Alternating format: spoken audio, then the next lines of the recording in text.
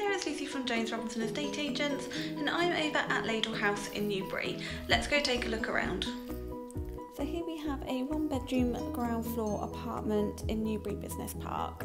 So you have the bathroom just as you come in on the hallway and then the open plan kitchen living room.